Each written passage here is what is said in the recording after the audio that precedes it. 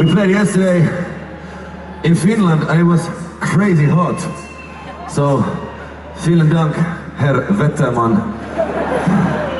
Wirklich.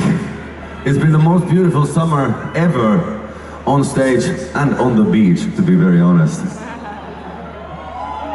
Um,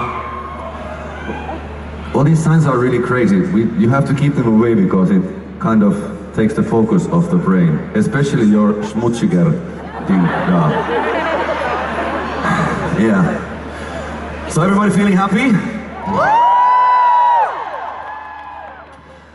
This next song I actually wrote in Germany two years ago with a beautiful German team and then we recorded and produced it with the guys with a German beautiful beautiful producer who we hope that we can work together in the future too and uh, it was hard times crazy times as always I guess.